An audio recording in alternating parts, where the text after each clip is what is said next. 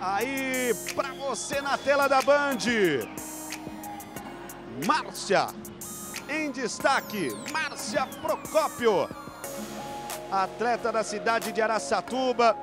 Ela que agora vai passando ali pelos cuidados da sua equipe técnica. Bastante rodada, já tem 30 lutas no seu cartel e um cartel de respeito. 24 vitórias e apenas 6 derrotas, Ivan Bruno. Como você bem disse, ela que é da cidade de Araçatuba, interior de São Paulo. Agora a entrada da adversária de Márcia Procópio. Aí para você, Camila Marques. Da cidade de Jacobina, na Bahia. Bahia toda ligada nesse momento na tela da Band. Acompanhando uma atleta da Casa Romã. São 26 lutas no seu cartel, 24 vitórias, apenas duas derrotas. Ela que é da equipe FTT Família, Tiger Team e da China FTT. Ela que é da cidade de Jacobina, na Bahia, Ivan Bruno. Márcia Procópio, 24 vitórias e 6 derrotas. Ela que tem 30 anos, 60 quilos e 900 gramas, 1,65m de altura, 1,70m de envergadura. Camila Marques, 24 vitórias e 2 derrotas. 24 anos de idade, 60 quilos e 900 gramas, 1,64m de altura, 1,69m de envergadura. Senhoras e senhores, vamos para o próximo combate de kickboxing até 61 quilos e 200 gramas. Serão três rounds de três minutos. Vamos lá, no corner azul com ela. 30 anos de idade, 1,65m de altura. Bateu 60 quilos e 900 gramas, com 24 vitórias e 6 derrotas da equipe Inside MMA da cidade de Araçatuba, Márcia Procópio. E a sua adversária no corner vermelho, 24 anos de idade, 1,64m de altura. Bateu 60 quilos e 900 gramas, com 24 vitórias e duas derrotas da equipe FTT, família Tiger Team e China FTT, da cidade de Jacobina, na Bahia, Camila Marques. Combate arbitrado pelo senhor Rogério Milani. Vamos ouvir Rogério Milani. Uniforme preto e dourado, marrom e dourado. Preto, marrom e dourado, luvas azuis para Márcia Procópio. Uniforme preto-branco com as luvas vermelhas para sua oponente, Camila Marques. Luta na categoria dos 61 quilos e 200 gramas. Início de confronto para você na tela da Band. Já começa com a Márcia tentando partir para cima. As duas foram para o clinch. Buscava ali até a ajoelhada a Camila no clinch. Solta bem ali à esquerda a Camila. As duas trabalhando forte movimentação e muita intensidade. De novo tenta ali o cruzado, outra vez ajoelhada no clinch. Colocada pela Márcia. Só 20 segundos elas já estão tentando decidir, Ivan. Exatamente, só 20 segundos elas já tentaram partir com tudo para cima.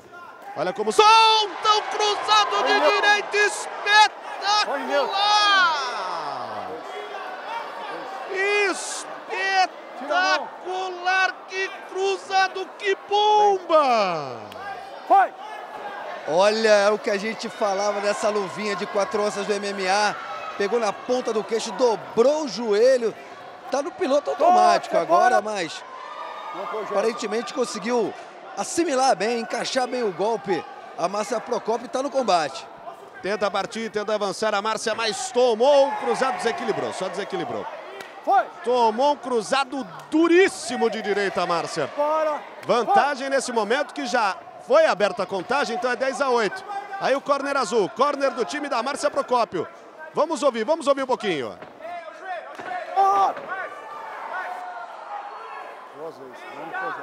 Aí você acompanhando algumas das orientações ali do time da, do corner azul.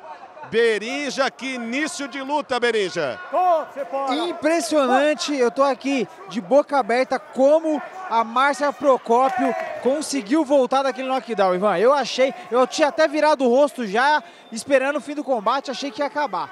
E a Márcia Guerreira, hein? Caiu, levantou, outra vez sente a esquerda, golpes duros ali no, na trocação, boxe da Camila muito afiado, hein, Romano? É, a Márcia Procópio já está com sangramento no nariz e a Camila muito agressiva, indo para cima, quer definir. Ela quer definir, Ivan Bruno. E a Márcia tenta contra-golpear. Camila vai para cima, Márcia tenta gol, contra-golpear. Outra vez a esquerda da Camila entrando. Mais uma vez as duas ali ajoelhada no clinch. A arbitragem paralisa. 35 segundos, a esquerda de novo. A esquerda de novo, agora o cruzado de esquerda. Camila com boxe afiadíssimo, hein? É, mas eu acho que tá bem tonta a Massa Procópio, totalmente... Tá sem bússola, Ivan. Sobrevivendo em pé, sobrevivendo em pé nesse momento. A lutadora Márcia Procópio vai para cima. A Camila Marques vai arrebentando com a luta. Vai mandando bem demais. É, quando você bloqueia a perna, você pode bloquear para tentar a rasteira não para tentar. E o golpe tem que ser rápido também. Final do primeiro round, Romã, e podemos definir assim, Camila partindo para cima agressivamente, a Márcia Guerreira conseguindo sobreviver no duelo.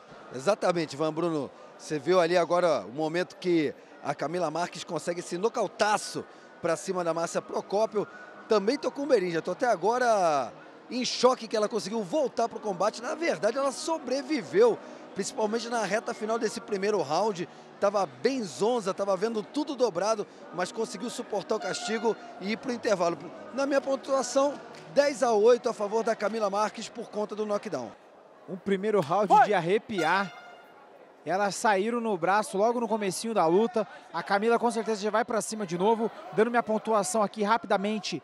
10 a 8 para Camila Marques. E olha, Ivan, ainda bem que eu, eu disputo no masculino e não pode misturar com a mulherada, porque essas mãos aí, elas batem duro, viu, Ivan? Chute alto bem colocado agora pela Márcia. Eu concordo, concordo com o Bereja, hein? Poder de punch dessas meninas, a potência nos golpes colocados é algo invejável, algo invejável. Soltam ambas os chutes baixos na parte externa ali da perna. Primeiro a Camila, depois a Márcia. Busca aproximação ali a Camila com chute frontal. E a Márcia Procópio voltou, mas voltou na raça, voltou no coração, porque é muito guerreira, mas claramente já não está 100% do seu... Não está no 100% do seu condicionamento físico. Você vê que ela tá, anda, tá meio trôpega, é, tá indo no, no, coração, tá com o coração na ponta da luva, Ivan. Ela vai realmente resistindo bravamente, bravamente a Márcia. E a Camila me parece que deu uma breve reduzida no ritmo. Não sei se até para... Olha o chute rodado, se pega. Até para conseguir dominar melhor a luta e não correr o risco de ficar sem gás no terceiro round. Camila agora sabe que tem um 10 a 8 na frente. Então ela pode ser inteligente, estudando muito bem a maneira de como derrotar a lutadora. Olha, direita duríssima. A maneira de como derrotar a Márcia Camila. Por enquanto as lutas muito contundentes. E esse duelo em particular na mão da Camila Marques, que tenta agora o chute saltado, passou no vazio. Responde ali a Márcia com chute frontal. Olha, esquerda, que combinação! Esquerda e direita potentes de Camila. Trabalha o chute baixo na sequência.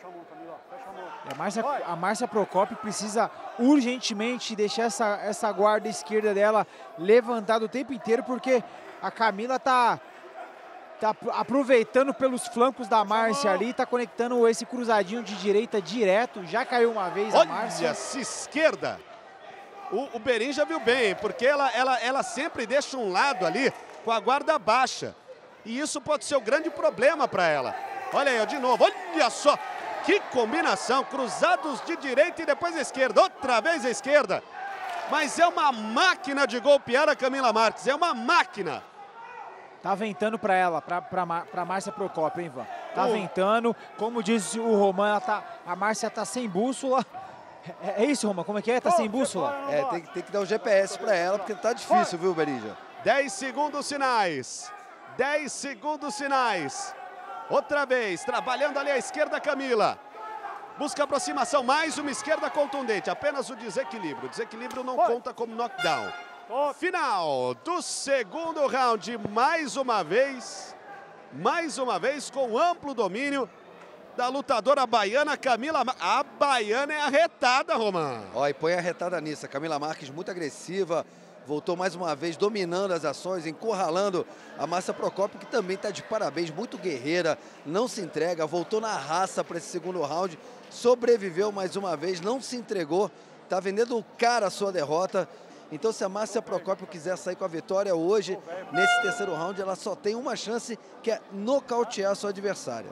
Ivan, mais um, um 10 para Camila, mas nesse round ficou perdeu por no, apenas por um ponto a Márcia, então 10 a 9 para Camila, que está se divertindo a Vera em cima do ringue, ela cada golpe, cada combinação, ela dá aquele sorrisinho e está se divertindo demais está conduzindo muito bem a luta, que infelizmente não está dando para a Márcia. Vai ter que dar o máximo dela agora nesse round. Ela que já perdeu dois rounds, vai ter que dar o máximo agora, vai ter que cair para trocação franca e tentar um nocaute. Tarefa muito difícil, já que a Camila está sempre um passo à frente. Esquerda e direita e depois ajoelhada no clinch. Bem colocados pela Camila. Tenta aproximar ali a Márcia, é guerreira Márcia, vai resistindo bravamente, mas a Camila é uma máquina, é uma máquina de golpear. É impressionante a precisão e o poder agressivo que tem essa lutadora baiana. E ela tem um repertório muito bom com as mãos, né? Ela varia bem jab direto, cruzado, upper. Tem, tem, tem mãos muito habilidosas a Camila. Agora foi bem, hein? A Márcia pela primeira vez. Trabalhou ali o chute alto, soltou a direita e não pode bloquear no momento ali do golpe. Por isso, a arbitragem chama a atenção. Se irrita ali a Márcia. Será que a Márcia vai tentar buscar uma virada? Camila segue nos golpes. São retos, golpes curtos, golpes pelos lados. É impressionante. Mas a Márcia resistindo bravamente, hein? Resistindo bravamente. Tenta o chute frontal. Sai do raio de ação a Camila. Camila busca o chute alto, passando vazio. Solta bem a direita. Veja que a Márcia tenta até golpear, mas o poder de de punch dela, o peso dos golpes já não é o mesmo. Nosso Superman punch agora, soco saltado, foi muito bom da Camila. Um é, minuto Cam... e. É, a Camila abriu a caixa de ferramentas, está mostrando todo o seu repertório, está com a luta na mão.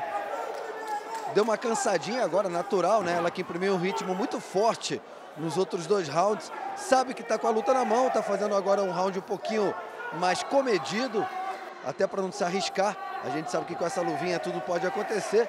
e em contrapartida, a Márcia Procopio está de parabéns. Muito Foi. guerreira, é, tem aquele coração de samurai, não se entrega, está com o rosto bem machucado, mas parece que vai chegar até o final da luta. Olha o chute alto da Camila. Todos os golpes que a Camila quer conectar vão entrando, vão entrando e com muita facilidade até.